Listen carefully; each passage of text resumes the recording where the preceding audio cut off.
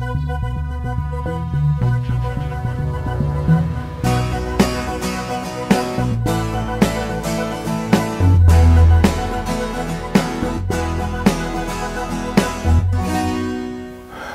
and welcome to another episode of my Small Business Entrepreneur video series. My name is John Edmonds. Today I want to talk about how to find free publicity uh, through undertaking public relations exercises, normally called PR, in order to attract more clients to your business. PR or public relations is simply the activities your business undertakes to promote goodwill between your business, the public the community and customers or potential customers. And there are many ways to do this, including having a product launch, being interviewed on radio or TV, writing a newsletter, uh, writing a book in your industry, doing some public speaking, announcing results of a survey that you've undertaken, providing expert advice such as a regular column for your local newspaper, announcing a new staff appointment, holding a competition uh, helping at a charity event, sponsoring a community event such as a sporting event, demonstrating a new invention, getting involved in a celebrity event, creating a publicity stunt, writing a social internet blog, publishing an annual report and finally writing media releases. Out of all of these, writing your own media releases or what they call press releases is by far the largest PR activity where you write about any of the issues I've just mentioned. So that's what I'm going to concentrate on here. Carried out properly, PR has much greater credibility than a paid advert on local, in a local newspaper. Not only that, but PR tends to bring longer term benefits than an advertisement. Media releases are 100% free. They cost you nothing but your time and your imagination. It's where you pretend to be a journalist writing an article about your business. Do you remember Superman? When he wasn't saving the world, he was a journalist, a newspaper reporter. That was the days when most newspapers had a team of journalists wandering around town, interviewing people and creating news. Today, newspapers have very few reporters. Those days are gone. Uh, nowadays, local newspapers get most of the news from emails and faxes sent to them by people like you. Except for the big headlines, most of what you read in the local newspaper started off being written as a media release which got forwarded to a newspaper. Now, if you think about it, it's rather ironical when you read about an exciting new product and realize that the article was actually written by the company who has this exciting new product. In other words, it's advertising but in a different form and it's free. Writing media releases should be something even the smallest one-person business can do, but there are rules and in another video I talk about how to actively write an effective media release.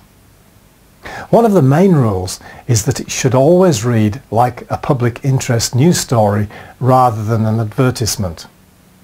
If you send in a media release and the newspaper looks at it and thinks this person is just trying to get some free advertising, then it'll go in the rubbish bin. The problem with media releases is that there's no guarantee it will ever get published. When it ends up on the editor's desk via an email or a fax or a letter, it will depend on what other news is around on that day.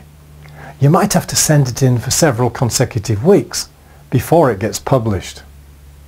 Newspapers don't generally store stories for later. They get too many. So if yours doesn't get in the paper within a week or so, then you probably need to resend it. However, if they don't like what you've written the first time, then it'll never get published, ever. It doesn't matter how many times you send it in. So each time you send it in, rewrite it, uh, rather than sending in the same one. Maybe a rewrite with a slightly different public interest angle. Getting your media releases printed in the local newspaper is one of the best ways to attract public interest in your products and services. And I've written many hundreds in my life and most of them were printed because I followed the rules. When writing media releases, you need to aim at general news publications or magazines uh, and publications that your customers read. You might even conduct a survey with your customers to ask them what they read. It's actually quite easy to get into local publications, but almost impossible to get into the national publications. It depends on the public interest angle. I've known of small businesses who've sent in media releases to local newspapers and got it printed, and then it's been picked up by a national press who also ran with it, and then picked up by a TV station who went with the story too. But that's very rare, uh, and you have to be very lucky for this to happen to you. Magazines tend to be slower at using media releases and have a lead time up to about four months.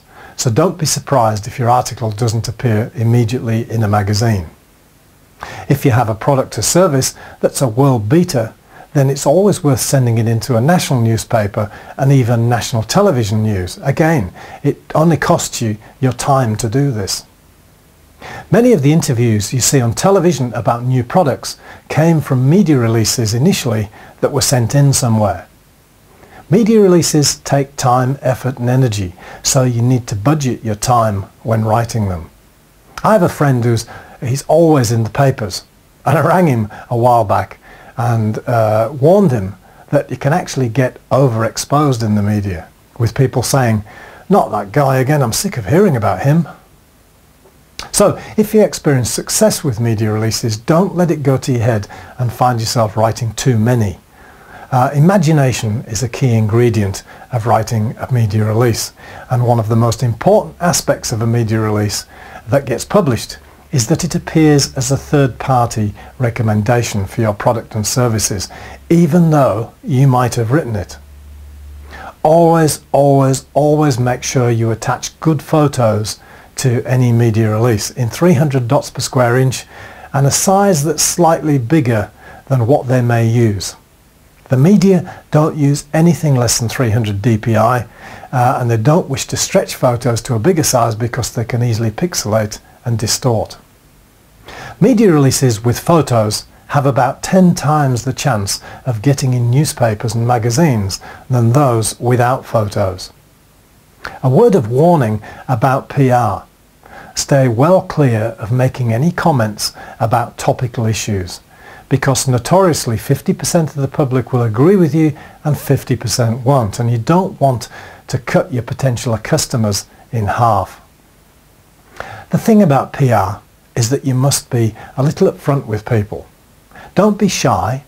Be proud of your business and what it's achieving. Editors and journalists want interesting news to publish. That's the reality. They're not there to advertise your business unless you pay for it. Think like a journalist and write like a journalist, not like a business person. What's the angle of the media release? Is it worth publishing right now or maybe leave it for a couple of weeks? Finally, on screen now is what I use as a media release format. Use A4 paper with the words media release in large letters across the top so that when it arrives uh, on the editor's desk they're in no doubt about what it is. Include the date, your direct contact details and maybe a suggested media heading to give a feel for what the article is about, although uh, they'll probably change that. In fact, it's more than likely they'll change it. Also mention whether a photograph is attached, because if they can't find one, they won't know. Finally, another excellent way to attract clients through effective public relations and media releases is to use a good reputable PR agency. They have the expertise that you probably lack.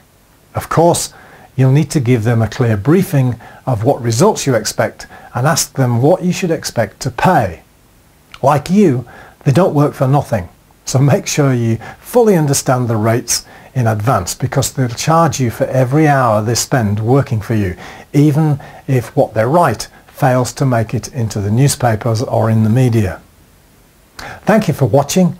I trust you found the information in this video helpful.